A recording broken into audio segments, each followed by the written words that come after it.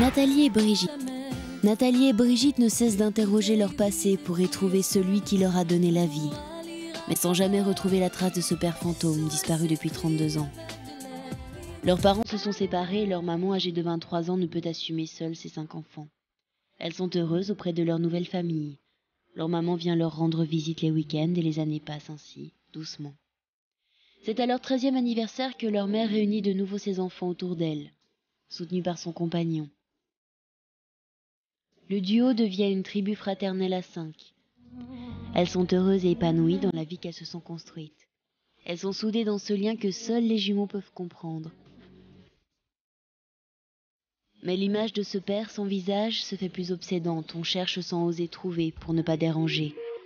Est-ce qu'on lui manque? Est-ce qu'il pense à nous? Veut-il nous connaître? Cette image de père restera-t-elle définitivement absente?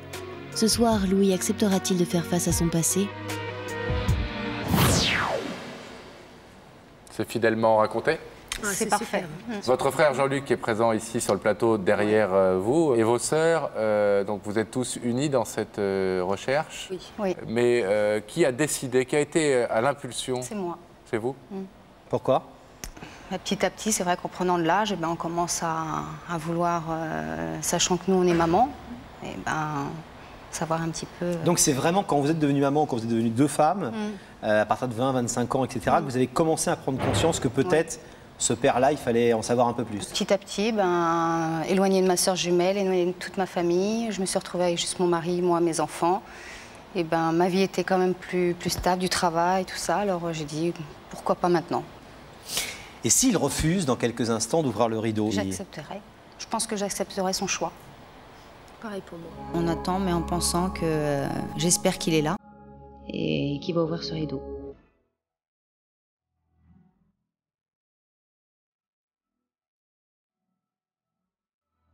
Quand j'ai vu mon papa dans le couloir, euh, j'ai dit à Brigitte justement, euh, c'est vraiment notre papa.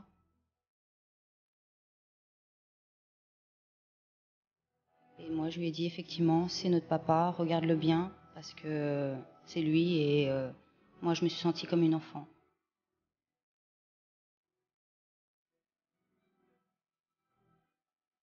Louis, est-ce que pour ne pas faire euh, durer le suspense plus longtemps, vous êtes d'accord, parce que vous n'êtes pas obligé, pour découvrir là où les personnes qui sont derrière ce rideau? Et je risque de les décevoir si je dis pas oui, mais je risque d'être déçu si je dis oui. Donc je sais pas. Derrière le dos, je pensais que c'était une partie de mon passé qui était là. Et euh, j'avais tellement peur de découvrir des choses qui étaient peut-être trop dures. Quoi. Ces choses-là, on n'a pas envie de, de les voir euh, arriver au, au jour. quoi. Ce soir, c'est un soir assez important pour vous. Et pour, le- pour la personne qui est derrière le rideau aussi? Et pour la personne qui est derrière le rideau, tout autant que vous.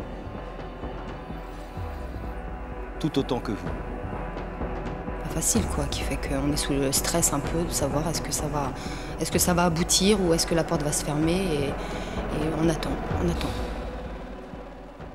La carapace est en train de se fêler là. hein. Et euh, moi j'ai peur, c'est que malheureusement c'est irréversible pour l'autre personne, pour moi non. Parce que je me suis créé une vie à moi qui m'appartient et euh, avec l'acheter je pourrais toujours y retourner. Mais pour l'autre personne, euh, maintenant qu'elle aura fait un pas et devant tout le monde en plus, parce que si cette personne avait vraiment envie de me voir, eh ben, pourquoi elle ne le ferait pas euh, en dehors des caméras de télévision? C'est tellement plus simple. À ce moment-là, vu sa conversation, je me suis demandé si vraiment euh, il allait ouvrir le rideau. Et là, la question qui se pose à vous, c'est de savoir si, euh, oui ou non, vous voulez, euh, Vous voulez savoir qui est là déjà qui est là? Ouais, ouais ben, je veux bien voir, oui.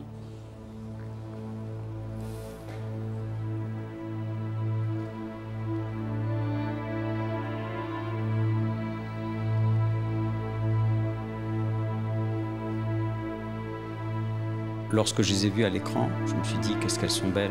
J'étais fier d'être leur père. Je sais plus ce que je dois dire. Maintenant, j'ai compris, bien sûr. L'émotion a envahi. euh, je voulais pas pleurer parce que je voulais leur donner l'image d'un d'un père qui, euh, qui n'est pas triste, mais au contraire heureux de les voir.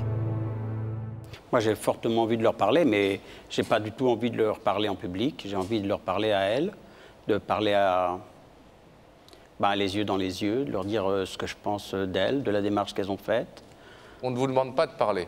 On vous demande éventuellement, si vous le voulez bien, d'écouter, dans un premier temps. Moi, j'ai envie d'écouter. Alors Nathalie et Brigitte Euh, Voilà, euh, je connaissais ton prénom et moi, la chose que je voulais absolument, c'était voir un visage sur cette personne. Et euh, je suis contente que tu aies eu la force de venir hein, parce qu'on est quand même euh, cinq enfants et, et euh, non, c'est super. Je suis contente que tu sois venu. Votre demande, c'est quoi? C'est juste de pouvoir le, le rencontrer? S'il a envie déjà. Et, euh, et euh, je sais pas. On est humain, on a besoin de tous de, de connaître au moins père. euh, son père, on va dire. Voilà. Et ce qui s'est passé avant, il s'est passé. C'est c'est la vie, c'est comme ça. Mais on n'a pas été malheureuse. Belle histoire quand même. Oui. Mhm. Complexe, mais belle. À ce moment-là, euh, je me suis vraiment posé la question. euh, je me suis demandé si vraiment euh, il allait ouvrir le rideau.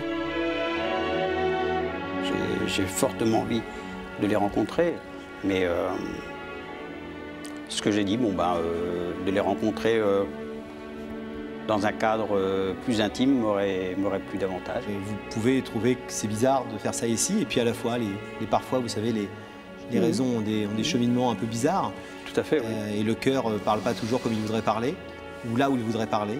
Est-ce que c'est pas une façon aussi de respecter leur choix pour une fois que de- que d'accepter cette démarche, quoi qu'elle vous coûte? Quoi qu'elle vous coûte.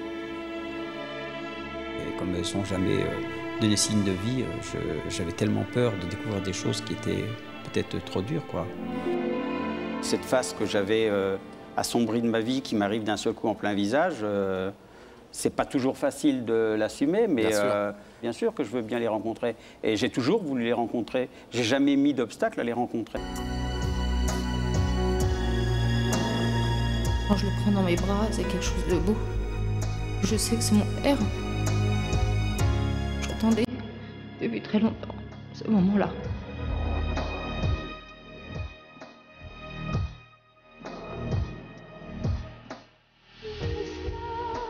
Et à partir de ce moment-là, j'ai compris que mon passé faisait maintenant partie de mon avenir.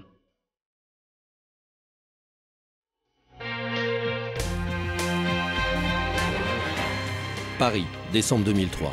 Noël et ses mille lumières qui réchauffent les familles, qui éblouissent les cœurs, font grandir les yeux des enfants. Vous avez dit enfants Les deux jumelles ce jour-là redeviennent des petites filles sous le regard d'un père enfin retrouvé. Ça fait 34 ans euh, qu'on recherchait euh, tous euh, ce moment qui peut, j'espère, aboutir que du bonheur. Magique.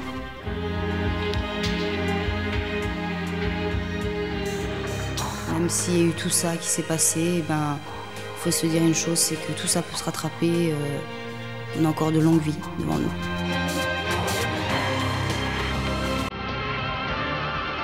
En décidant de revoir ses deux filles jumelles, c'est toute une autre famille que Louis se prépare à découvrir bientôt le 25 décembre, et notamment trois petits-enfants pour cet homme à la retraite depuis quelques semaines. Je savais que si s'il ouvrait ce rideau, et ben, j'allais donner du bonheur. Je sais que la vie est courte, on ne sait pas ce qui peut nous arriver. Et pour moi, le plus fort, c'était de, de le connaître.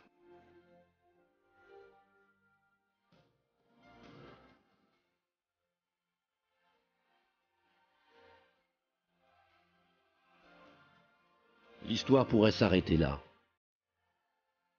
sur ces pleurs de joie. Mais Louis, lors de son passage sur le plateau, avait un secret. Au moment où il a hésité devant le rideau, à retrouver son passé, à découvrir un nouvel avenir, un nom, un seul, a guidé son choix. 48 heures avant la diffusion de la suite de son histoire, il nous a laissé ce message sur le répondeur de Yac la vérité qui compte. Un message et deux photos envoyées sur Internet. Allô? C'est Louis. Sais que vous allez passer un morceau de l'émission euh, où on avait vu les jumelles. Je tiens quand même à, à cette occasion à ce que vous fassiez un petit hommage à, ma femme, Martine. Je sais que la horreur qu'on parle d'elle, mais tant pis, je veux lui faire une surprise et lui rendre hommage à cette occasion. Parce que sans elle, ben, ça n'aurait pas pu avoir lieu. Euh, on était prêt à tout moment à affronter euh, ce passé avec elle. Maintenant qu'on est devant ce passé, eh bien, on l'affronte ensemble. Et euh, sans son soutien, je crois que j'aurais jamais accepté. Merci.